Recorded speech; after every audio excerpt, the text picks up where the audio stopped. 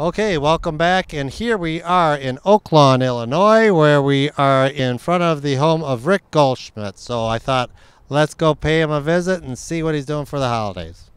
All right, let's knock on the door and talk to Rick. Hi, Rick. Thanks for coming, for letting us see your house here, and uh, Rick Goldschmidt. So let's go check on, see what he has to offer. Here we are at the home of Rick Goldschmidt. Rick, uh, Merry Christmas, Happy Holidays to you. Thanks so much for letting us in here. Um, uh, originally, we're going to talk about a certain subject, but a holiday subject. But uh, walking in here, this is a, a really neat toy house, in my in my opinion. How did you get involved with this toy collection? Um, it just came out of my uh, love for art. I'm an illustrator. My degree's in illustration. And Jack Davis and Paul Coker, who designed all the Rankin Bass holiday specials and films, are two of my favorite artists. So um, once I started collecting their work and Rankin Bass's work, it kind of branched out into the Green Hornet, Batman, uh, monster stuff, and all kinds of pop culture. That is ru- roughly about. Do you have a count of how many items are in here? Uh, No, it's probably a good. Now it's probably like four thousand items. I would say at least. is that going to collector shows? Uh, eBay? Yeah, um, I used to go to the St. Charles uh, Toy Fair out there, the toy uh, antique toy show, and I bought a lot of stuff there. And I appeared there a few years ago. And uh, yeah, when eBay was booming, and uh, a lot of uh, movie conventions and things like that. Okay, Rick. So we're standing right now in your living room uh, here, and let's hear kind of generally what you have. Uh, it's a lot of music related um, and also pop culture things. My band actually practices uh, in this area here, so yeah, um, it's kind of tight, but we we enjoy it. I have the Captain Action collection there, um, which a lot of that's pretty rare stuff, and um, you know, different. I have a whole TV guide collection from the mid 60s too and sometimes i have to use them to reference rankin bass things and and see when they aired uh, uh, you know what time they aired and what kind of ads are in there and so forth And then you got some classic uh, Muppet uh, from the Sesame Street. oh yeah. I actually have the very first licensed kermit the frog puppet over there um, that ideal toys put out in 1965 and then I have his first puppets, um, uh, Wilkins and Wonkins, um, that he did for Wilkins Coffee. Um, so I love the early Jim Henson stuff, stuff that he did before I was even born. Um, do you, does that a museum ever approached you to have stuff flo- showcased in or as an exhibit? Yeah, I've been talking to a few museums in Chicago too about uh, doing an exhibit. So it's been in quite a few areas.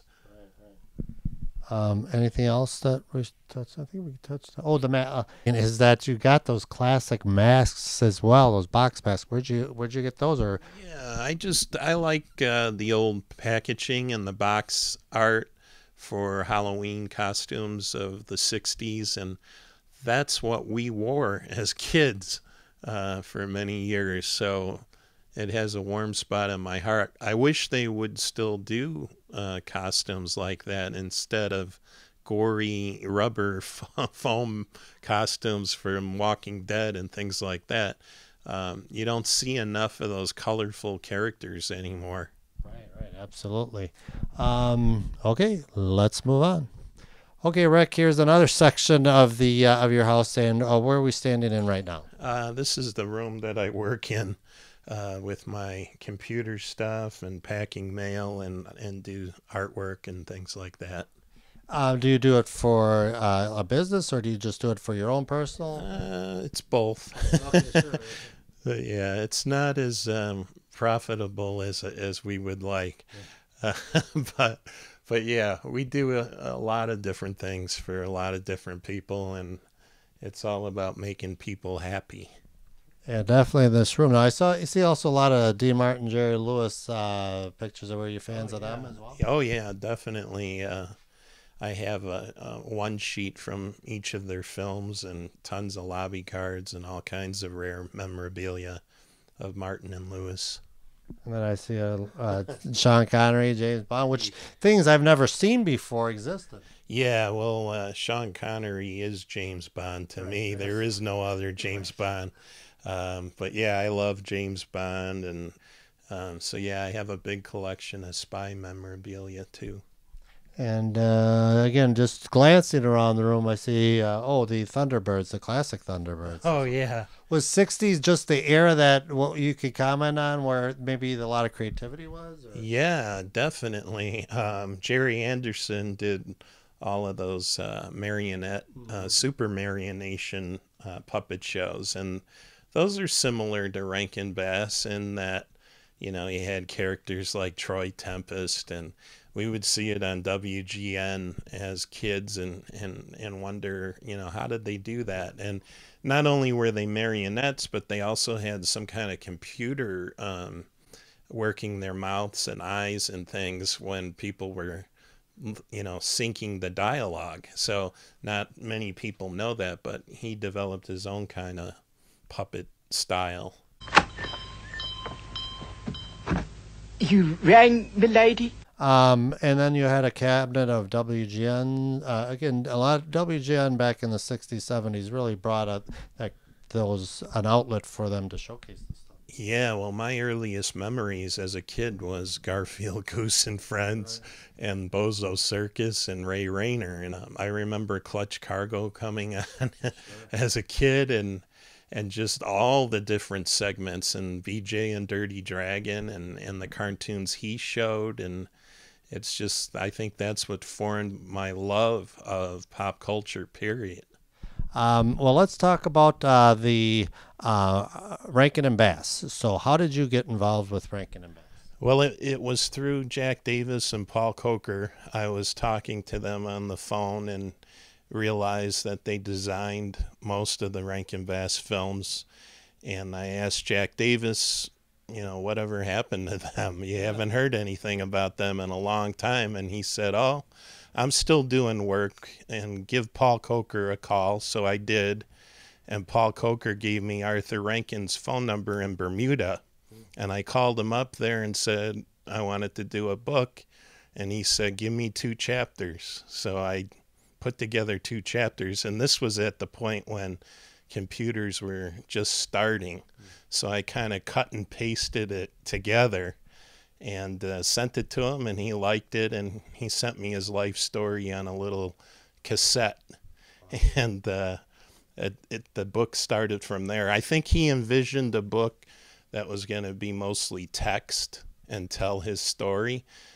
But, my book was more of a visual documentation of everything that they did and maybe for those who don't know that the Rankin and Bass were the ones responsible for the Rudolph the Red-Nosed Reindeer, Frosty the Snowman. It goes on. yeah, those Santa Claus is coming. Santa Claus is coming to town. Those those things. So how did they get started with? Did they? They probably didn't expect it to be shown today, but where did they came with the idea of doing such classic uh, Christmas stories? Well, they started with Pinocchio because Arthur's favorite Disney film was Pinocchio. So he did a syndicated series based on Pinocchio that was part of all the children's shows of the 60s. So they showed it on Garfield Goose and Friends, and they showed it in all these different markets. And it took a long time to make any money from that. Um, they also did Tales of the Wizard of Oz, which was another segmented series. So Arthur's neighbor was Johnny Marks, who wrote the song Rudolph the Red-Nosed Reindeer. And he would see him at parties. And he said, You know, we should make this into a television special. And they got Return to Oz on the air based on their series. And that was the first thing that they did for NBC. The second thing was Rudolph. And when Rudolph hit, it was a major success. It got him a movie deal with Joseph E. Levine, three pictures. It got him another special on NBC, The Ballad of Smokey the Bear, and it just opened up a lot of doors. So once they did that, that was kind of the the uh, template uh, for what was to come for the next 20, 30 years. Wahoo!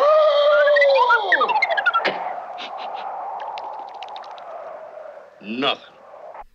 Also, was really neat is that that, that stop motion animation, which they was um, not really used in a lot of stuff, uh, and they really brought it to the forefront, especially on TV. Right. Well, their uh, form of it was called Animagic. Yeah. And that was a perfect name because there is magic in that stop motion.